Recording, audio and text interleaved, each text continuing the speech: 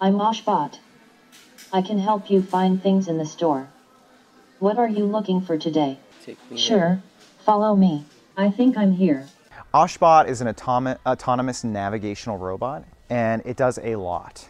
I think the thing that is most striking to people is it can help you find anything inside of the store. So maybe five years ago it would be a little bit crazy to do something like this. Now we're on the moment where we think it's actually the point of starting doing a lot of customer service robots and, and autonomous robotics and so on. I think it's ideal. They've obviously increased their inventory to the to the capacity where the staff is having a hard time help assisting the customers. So when you're looking for unique items, something like this is ideal. It is not meant at all for a reduction in our staff. Our greatest assets is our associates, and all it is is a resource for our associates to provide a higher level of service.